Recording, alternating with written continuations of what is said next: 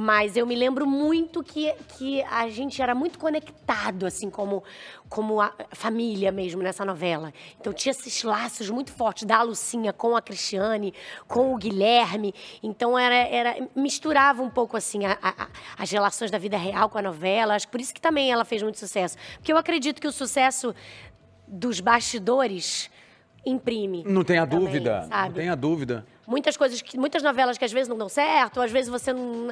Às vezes não está conectado ali mesmo, sabe? Então acho que a viagem foi isso, foi uma conexão muito grande. E que bom que você ama, e que Amo. bom que eu tô. É. Perfeito. Às vezes eu sinto raiva da Bia, às vezes eu sinto raiva da Bia. Não, Bia bom, fui, fui é, é, apanhei na rua nessa É, época. você apanhou pela Bia. Ela era muito revoltada, ela, era- ela maltratava aquela mãe, era uma É. coisa horrorosa. E aí eu andava no shopping, as- a- uma vez uma mulher bateu de bolsa assim: você não pode falar assim com a sua mãe e tal. E a minha mãe do lado, né? Minha mãe da vida real. Assim, não, não, é minha filha, ela não, ela não é a menina da novela. É sim! É sim!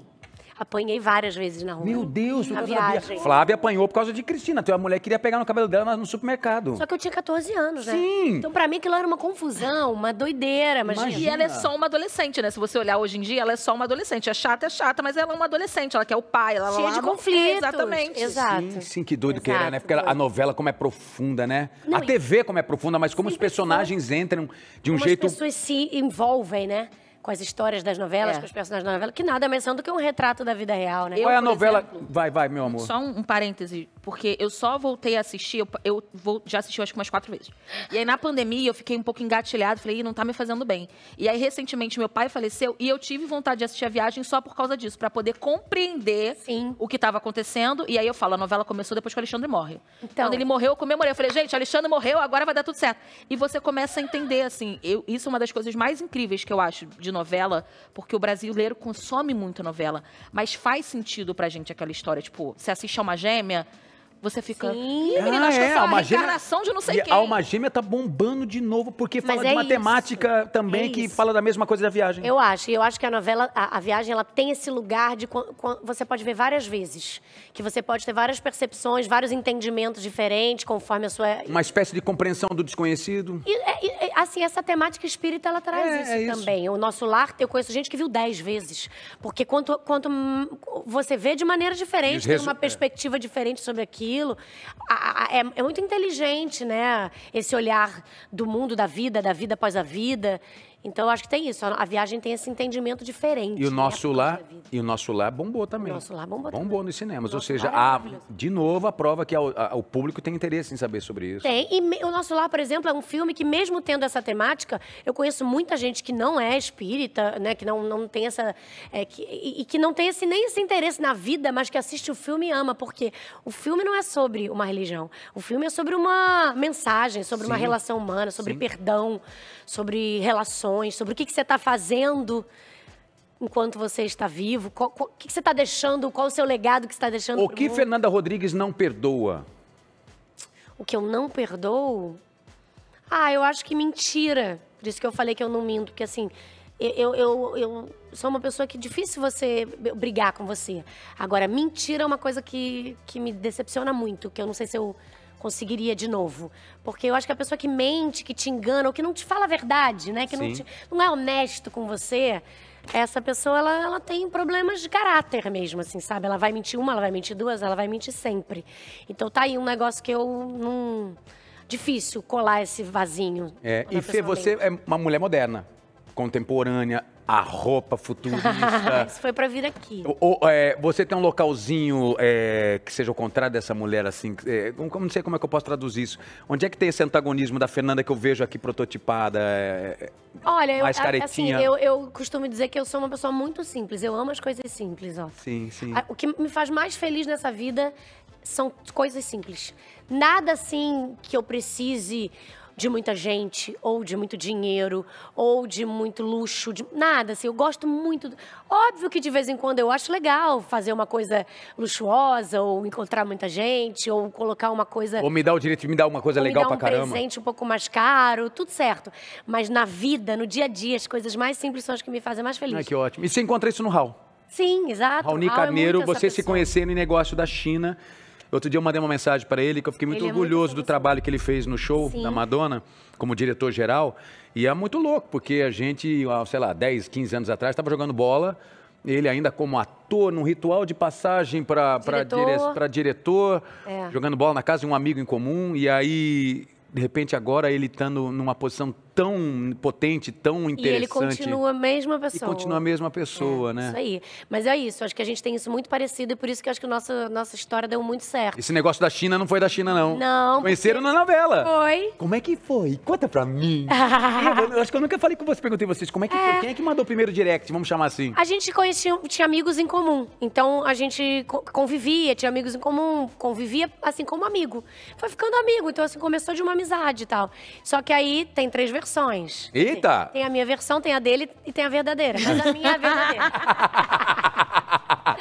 Qual é a mais romantizada? A minha verdadeira. Qual é a mais romantizada? Ele fala que eu me apaixonei por ele na novela. E aí fiquei lá mandando mensagem pra ele. Mas é mentira. Ele se apaixonou por mim, ó, nessa novela daqui, essa novela que chamava Lua Me Disse. Tá, tá.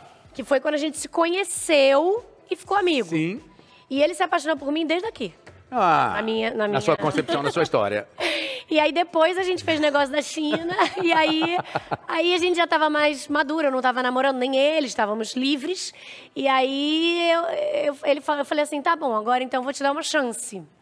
E aí começou assim, ele falou, tá, então me dá uma chance. Brincadeira, porque a gente era amigo. E os amigos faziam essa pilha. Quem era o amigo que deu a pilha principal? Roberto Talma. O, o diretor. Que faleceu, né, uns anos atrás. Ele era muito meu amigo, muito amigo do Raul, e ele via muito essa conexão entre a gente, das coisas que a gente gostava parecido, do que a gente gostava, que O humor. gostaria pro futuro. Não, e planos que a gente tinha de vida. Ah, tá, tá, tá, tá, tá. Que a gente falava, eu queria fazer isso, eu queria encontrar uma pessoa assim assada. E ele falava, cara, esse cara é o Raoni. E ele falava pro Raoni, essa pessoa é a Nanda. Ele me chamava de Nanda. Essa pessoa é a Nanda. E a gente ficava, será, será e tal. Então ele foi um dos maiores incentivadores, Cupidos. cupidos. E foi, foi bonito porque antes dele falecer eu contei que eu tava grávida do Raul. Pouco tempo Ele antes. Então, emocionou. ele conheceu a Luísa. Ele chegou a conhecer a Luísa e tal. Então ele ficou muito emocionado de ter dado certo aquele casal que ele vislumbrou que ia dar certo. É, enxergou, em, enxergou em cena, literalmente. Total. Que legal. Muito legal. E que orgulhosão. E aí vai fazer 15, 16 anos agora que a gente É. tá junto já. E você cuida do Raul. Pra ele não enlouquecer, né? Cuido. Porque o Raul é hoje uma pessoa que cuida de muitos projetos simultaneamente. Você fica atento com a saúde dele, né? Fico muito, fico muito atenta, muito preocupada, porque é isso. Ele é um cara que trabalha muito, que gosta muito de trabalhar, gosta muito do que ele faz. Então ele, ele fica ali imbuído daquilo, muito estressante. O trabalho dele, muitas vezes, muita pressão, muito, projetos muito grandes, Sim, né? o Mu- próprio show da Madonna. responsabilidade. Não, vários, o show da virada, que É, no sim, Réveillon, sim. o Rock in Rio. Tudo. o- os festivais, grandes festivais de Sim. música, são todos muito grandes, né? Então é muita coisa. Mas eu sou atenta e fico o tempo inteiro aqui, ó. Vamos se cuidar, fazer um Vamos fazer nosso ritualzinho, porque isso aqui Vamos é um ritual, né? fazenda, Isso vamos- aqui é um ritual, né, de cura, né? É um ritual de calma. A é um Fazenda ritual- salvou a gente um pouco nesse lugar, de levar na, na natureza, porque esse lugar Foi durante a pandemia. reabastece, Foi durante a pandemia que a É. Fazenda surgiu como cura pra vocês, entre Sim. aspas. E ela serve até hoje, porque quando tá uma semana muito estressada, acabou um projeto muito grande, a gente foge pra lá, fica lá uns dias na natureza, respirando aquele ar puro, já. Aí vocês têm o café juntos.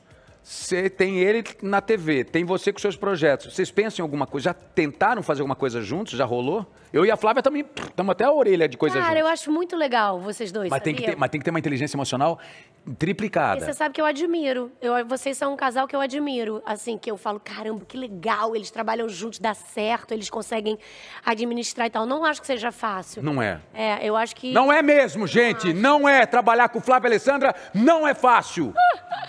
Não, acho que trabalhar em casal de uma maneira geral, né? É difícil pra É Como caramba. não cruzar os circuitos também, não comprometer nenhuma coisa nem É, E não acabar misturando as coisas, né? E você pensa mais isso? Você pensa muito nisso quando você imagina em fazer uma coisa com o Raul, por A exemplo? gente fez antes, que É, foram sim. essas novelas, mas depois a gente fez pouquíssimo. A gente É. não fez muita coisa, não. E acho que é bom, assim. Eu, eu adoro ver o que ele faz de fora.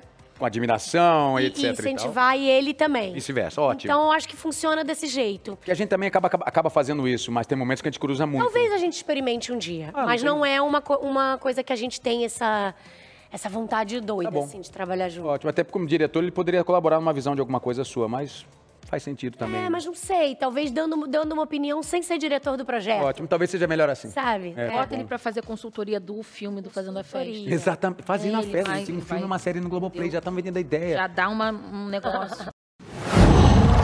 Qual